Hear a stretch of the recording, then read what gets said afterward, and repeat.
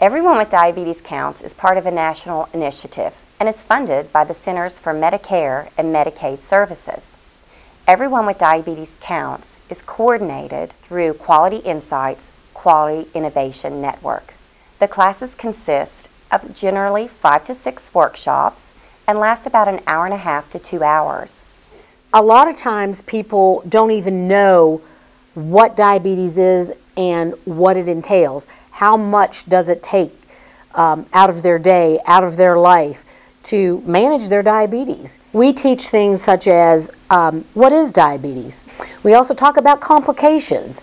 As I always say in my first class, diabetes is an equal opportunity disease. It affects every organ in our body.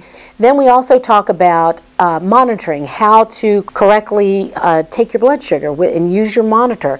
Does your monitor work correctly? Are your strips not expired? How often should you test? When you should test? Um, we offer blood glucose logs, recordings that we encourage the patients to give to their physicians to look for trends, to see if there's a reason that they need to change their medication. Segueing into medications, we have a module on medications because there's so many different medications out there so that they know and understand what this medication does to them or what the side effects are or how long does it last, especially when talking about insulin. Um, we do meal planning with them. We look at fast food restaurants, options for eating a healthy meal if you have to eat a fast food meal. Do we think when we teach these classes that the diabetic is never in their life going to have a chocolate chip cookie or a piece of apple pie? Absolutely not. Our goal is to, if they do choose to eat a chocolate chip cookie or a piece of an apple pie, then modify what you've eaten during the day. We teach them how to do that. And lastly, we talk about stress management and depression, exercise, how these things are all intertwined just because you're a Medicare beneficiary and you might be elderly doesn't mean you can't exercise. You can sit in a chair such as this. We can do resistance training, how we can do walking, how each little bit helps in the management of diabetes. My family suffers with diabetes.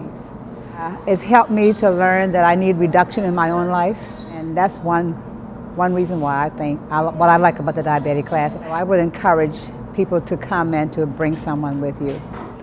I have been able to treat my diabetes with my diet. I've cut back on the amount of food I eat and I've lost weight and everything, doctor said everything is doing good.